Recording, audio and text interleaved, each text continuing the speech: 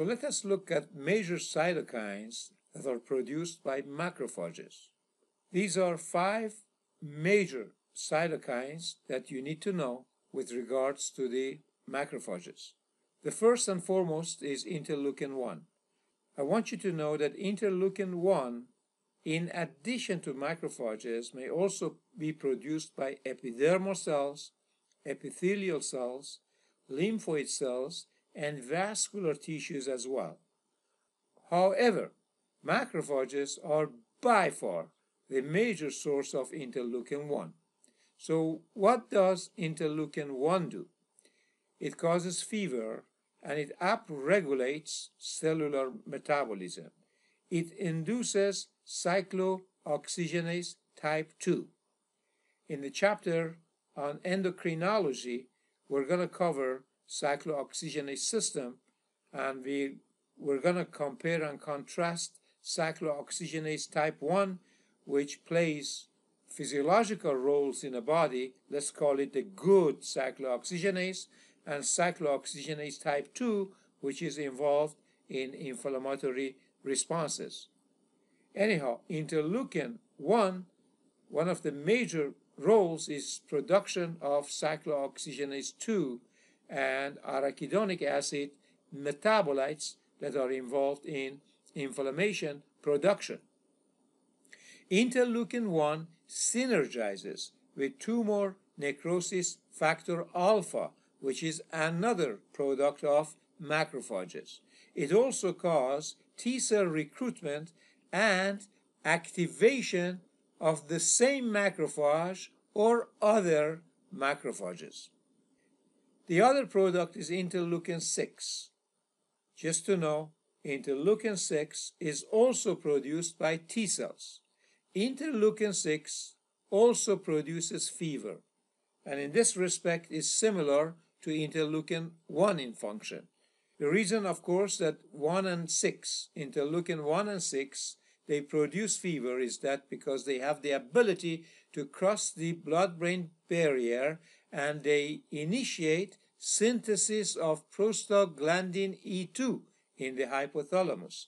So the immediate cause of reset of the thermostat for temperature in a body is prostaglandin E2, which is ultimately due to interleukin 1 and 6 function. Interleukin 6 also induces acute phase uh, proteins via liver. Interleukin 6 is also considered to be a myokine. Myokine is a cytokine produced from muscle in response to muscle contraction and exercise. It is shown that interleukin 6 has extensive anti-inflammatory functions in its role as a myokine. This interleukin also activates lymphocytes, B cells, T cells, and natural killer cells. It causes their differentiation and proliferation. It also increases antibody production through B cell stimulation. The next interleukin is interleukin 8. Just to know, this is also produced by epithelial and endothelial cells and also by the airway smooth muscles. Another name for this interleukin, actually the more descriptive term, and I want you to remember this term because it also tells about the function of the interleukin 8 is neutrophil chemotactic factor. So interleukin 8 causes chemotaxis in neutrophils and attracts the neutrophils to the site of inflammation or to the site of the entry of the pathogens. Interleukin 8 activates neutrophils and induces phagocytosis in them. It is also a potent promoter of angiogenesis. So it causes local angiogenesis, formation of more blood vessels, and as a result, delivery of more blood, and as a result, delivery of more innate cells into the site of entry of pathogens. Then we have interleukin 12. Interleukin 12, the highest number, activates natural killer cells that are big cells. So this gives you a light mnemonic to remember that the highest number goes with the natural killer cells that are big cells. Interleukin 12 also induces differentiation of CD4 positive cells and converts them and helps them to differentiate into T helper 1 cells. We're going to talk about these more in detail later. Finally, the next important factor produced by macrophages is tumor necrosis factor alpha, TNF alpha. What does this factor do? It activates macrophages and induces nitric oxide. Of course, as you can see, nitric oxide is a vasodilator, so that also explains, you know, the edema formation as a result of inflammation. This factor is pro-inflammatory and causes fever and of course later we see if there is too much production of this this may end up to cause shock in some of the patients. So a very high yield concept and commonly tested fact is that uncontrolled production of tumor necrosis factor may cause shock. And later we see that bacteria that are able to produce super antigens may cause serious problems for the patients. And one such serious problems is the issue of septic shock that can be deadly. And I want you to lock in TNF alpha as the pathophysiological cause of the septic shock.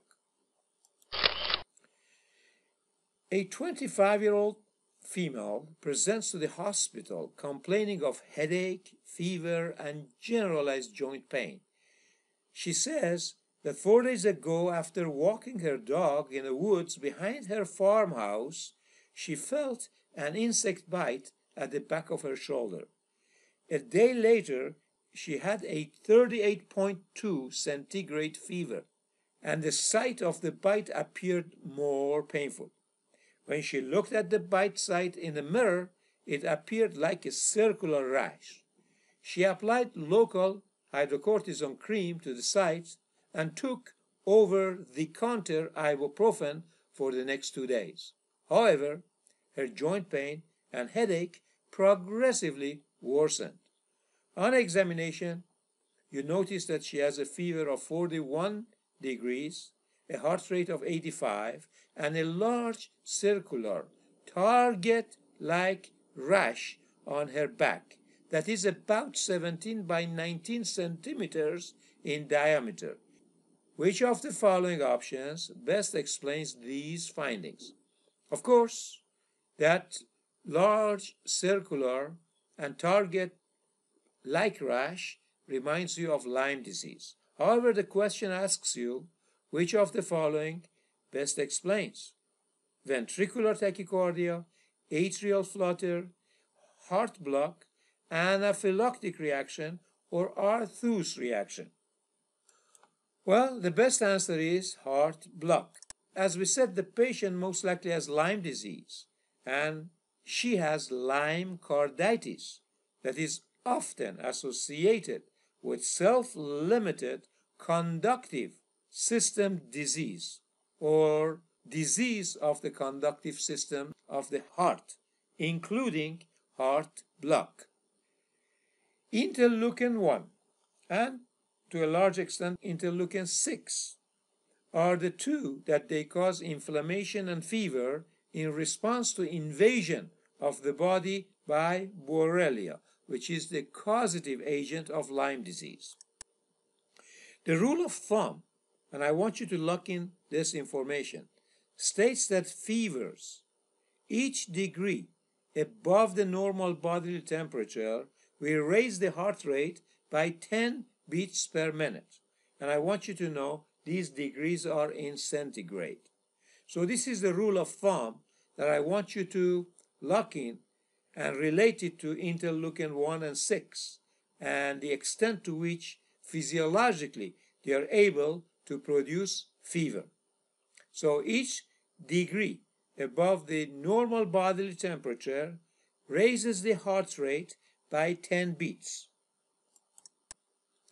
The temperature of the patient is raised about 4 degrees above the normal. Therefore, the increased heart rate due to interleukin 1 and 6 collectively and inflammation must be about 40 beats above normal. Given that the current heart rate of the patient is 85, her baseline heart rate must have been 45, which is bradycardia. This finding is compatible with heart block, which happens to be a major symptom of Lyme disease. I want you to know that the other typical symptoms of heart block include palpitation, syncope, chest pain, and dyspnea. Of course, you may ask, what are the major infectious diseases that they cause heart block? And as you can tell, there are more conditions other than Lyme disease that they can cause heart block. The must know ones for your examination, for USMLE and COMLEX examinations are Legionella, Lyme disease, Chagas disease, diphtheria, typhoid fever, rheumatic fever, and pertussis. What is the treatment of choice for heart block in above diseases? Of course, remember, your role as a physician is to first diagnose and then treat. We have done the diagnosis, now it's time to treat. Well, atropine administration is helpful, also, we can provide temporary cardiac pacing. For instance, we can provide transvenous and transcutaneous cardiac pacing for these patients. What are the top indications for temporary cardiac pacing? Hemodynamically unstable bradycardia or unstable clinical conditions that stem from bradycardia. Okay, this is a good time for us to talk about antibodies, B cell receptors, BCRs, and T cell receptors, TCRs. As you can tell, there are some fundamental similarities among these three, and that's why I have lumped them all together for you. And in this diagram, I'm showing a B cell receptor on the left side. And as you can see, there are many receptors on the surface of these B cells, but each receptor has two binding sites for epitopes or for antigens.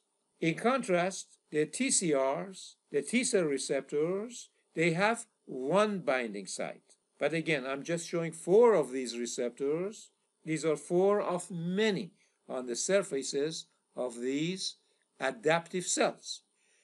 So both B and T cells have surface receptors for antigen. Each cell has thousands of receptors of a single specificity. This is important.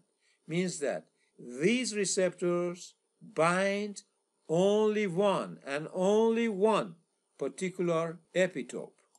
The B cell receptor is a transmembrane receptor protein. By transmembrane, I mean it relays the outside information to the inside B cell environment. So this is a transmembrane protein located on the outer surface of B cells. The receptor's binding moiety is composed of a membrane-bound antibody that has a specific and randomly determined antigen binding sites. So structurally, the B cell receptor resembles the antibody structure. And that's why I have lumped them together in this segment. When a B cell is activated by its first encounter with an antigen, that binds to its surface or to its receptor. Let's call it the cognate antigen, the antigen that this particular B cell or any particular B cell can recognize. Now the B cell proliferates. The B cell differentiates to generate, to generate a population of antibody secreting plasma cells. And they differentiate into so-called memory B cells that will retain the memory of that epitope or that antigen for a long, long, long time. The T cell receptor is a molecule on the surface of T lymphocytes that is responsible for recognizing fragments of the antigen or peptides or epitopes that are bound to major histocompatibility complex. So this is important. The T cell recognize the fragments only when they are presented on the surface of these antigen presenting cells on their major histocompatibility complexes. We're going to talk about this more in detail shortly. The binding between TCR and antigen peptides is of a relatively low affinity and it's degenerate. That is, many TCRs recognize the same antigen peptide and many antigen peptides are recognized by the same TCR. Let's talk a little about the antibodies. Antibodies are glycoproteins. They are made up of subunits containing two identical light chains and two identical heavy chains. The N terminal of the heavy chain and light chains make the variable region, the V region. And H is for heavy and L is for light. The variable, the variable region is specific for each antibody that body produces. The variable regions provide the antigen binding site, antigen binding site to which the epitopes or antigens are attached. In contrast to the enormous variability of the amino acid sequence of the N terminals, the carboxyl terminals, the other end of the antibody, or the constant region, only shows a limited number of variability. Each antibody expresses two different kinds of C regions, constant regions, for the light chains, a kappa and a lambda chain. However, each antibody expresses five different kinds of C regions for their heavy chains. These are the mu chains, these are the ones that, as we're going to see shortly, make the IgM antibodies. Gamma chains that make IgG. Alpha chains make IgA. Delta chains make IgD. And epsilon chains make IgE. I want you to note that these five types of heavy chains may have no predilection for lambda or kappa light chains. Let's look at the structure of the antibodies. I'm showing the N terminal and the antigen binding site is at the N terminal. I'm showing the light chain. I'm showing the variable, the variable segment, V for variable. So we have of the two binding sites, each one of them has one variable light and one variable heavy component. And then I'm showing the hinge. And the hinge, if you're interested, allows the fab region to rotate and to have flexibility. And because of the flexibility, the two binding sites can grab the epitopes or grab the antigens better. So includes flexibility for the antibodies to grab the epitopes better. Then I'm showing the FC portion, and as you can tell, the constant region has three segments designated as CH1, CH2, and CH3. For now, just to know, the complement binding sites are located in the domain area of the CH2 of the antibody. In research and and also for pharmaceutical companies and for monoclonal antibody production, it's very important for us to be able to degrade these uh, antibodies into components of the antibodies. It is shown in the lab that when we add the compound papain to the antibody, it breaks it into three fragments. Two Fab fragments and one FC fragment. However, when we add pepsin to the antibody, it breaks it into two components, a conjoined Fab and a single FC component. Another important high-yield concept in immunology is the concept of antibodies and serum protein electrophoresis. In experimental settings, the enzyme papain, which is derived from papaya plant, breaks the antibody molecules into two Fab and one FC fragments, as we showed earlier. The enzyme pepsin, however, cleaves below the hinge region, so it makes two fragments, a two-parted Fab and one FC fragment. On serum electrophoresis, immunoglobulins such as IgM or IgG or gamma globulins stay closer, closer to the anode, anode pole due to heavier molecular weight that they have and due to fewer negative charges that they have. In contrast, albumin, which is smaller and has a lot more negative charges, migrates farthest towards the positive pole, towards the cathode, as you see in this diagram. And as you can tell, by just looking at this diagram, if I ask you what is the most prominent protein in the blood, you can say the albumin because it has the tallest, essentially, deflection on serum protein electrophoresis. And of course, after the albumin, based on the size and based on the negative charges, then we're going to have the alpha 1 globulins, alpha 2 globulins, beta globulins, and gamma globulins. And of course, as you can tell, the gamma globulins include the immunoglobulins. Again, to summarize, based on weight and density, proteins are distributed from cathode to anode, serum albumin, alpha 1 globulins, alpha 2 globulins, beta globulins, and gamma globulins are the closest to the anode pole. The major proteins in transition zone, transition zone are zones between alpha 1 or alpha 2 or alpha 2 and beta or beta and gamma. The major proteins in transition zone between albumin and alpha 1 zone is high density lipoproteins.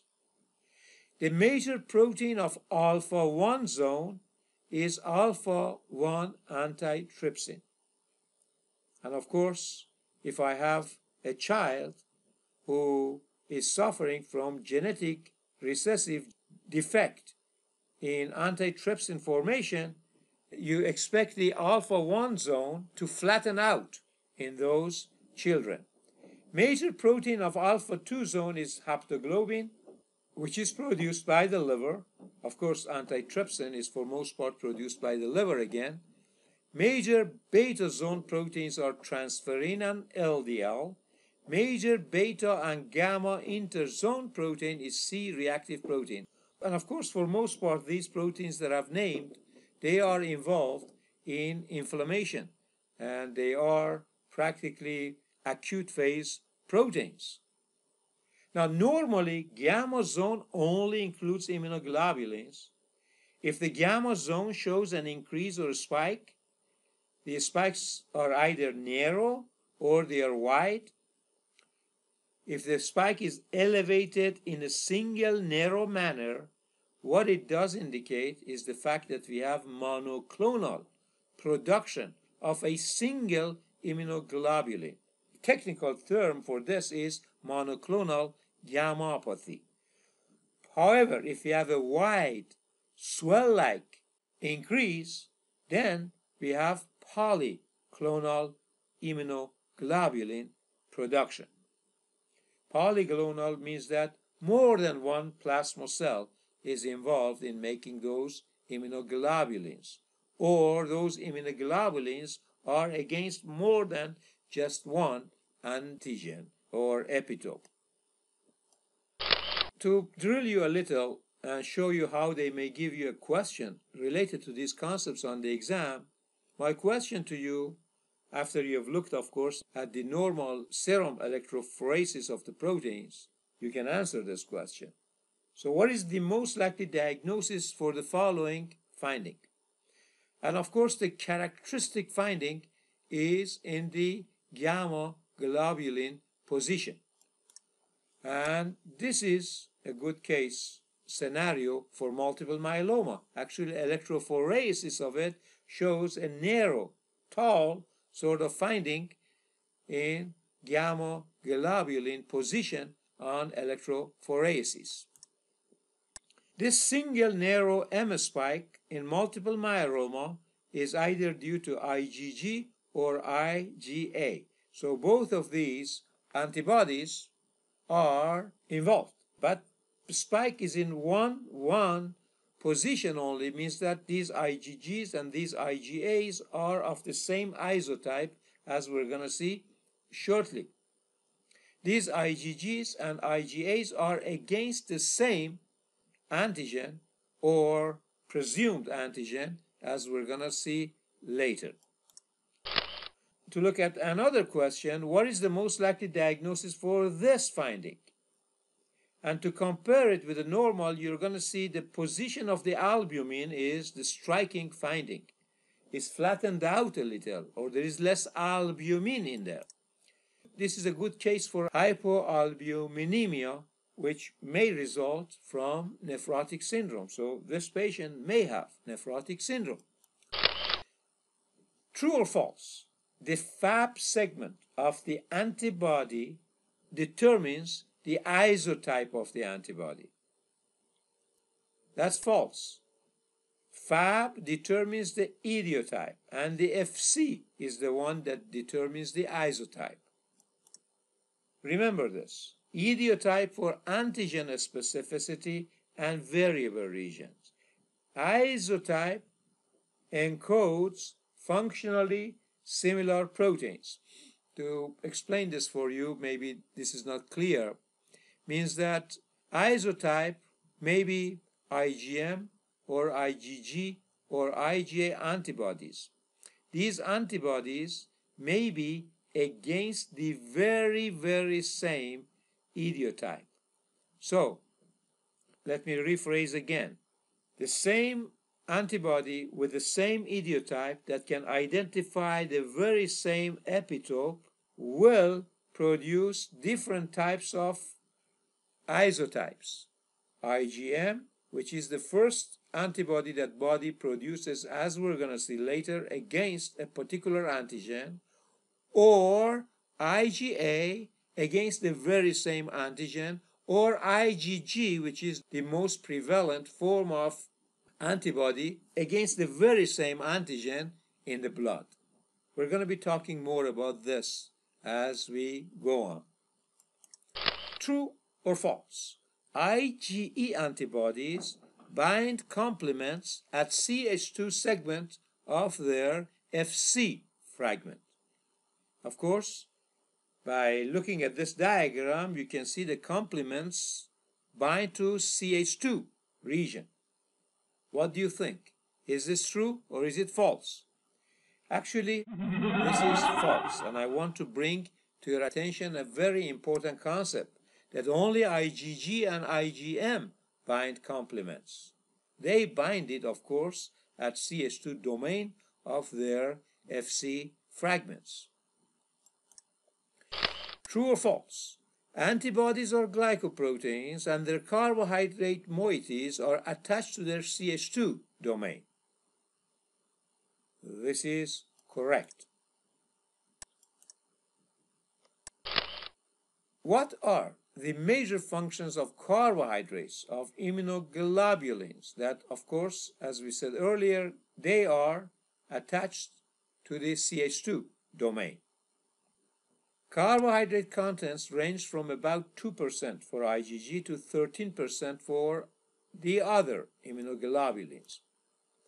Carbohydrates are mainly attached to CH2 domain and they affect the overall solubility and rate of catabolism of the antibodies. As you can tell, the function is not as clear yet to us. They also is said to affect the binding of antibodies to effector cells such as macrophages, T helper cells, or complements.